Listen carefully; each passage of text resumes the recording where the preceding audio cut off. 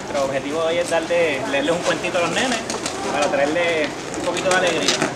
Así que nada, eh, los dejo con, con, el equipo que vamos entonces a, a comenzar la lectura y gracias por recibirnos. Pues ahora los dejo con la lectura del cuento de Carlitos el Cobito.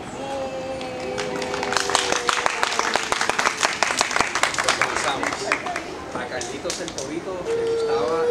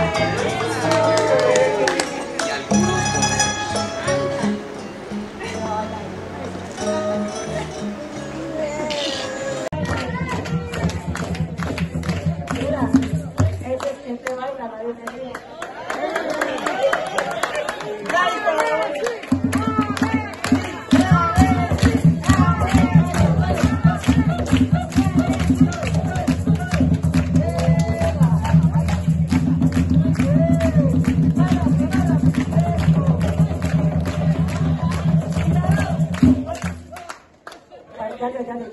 ¡Ándale!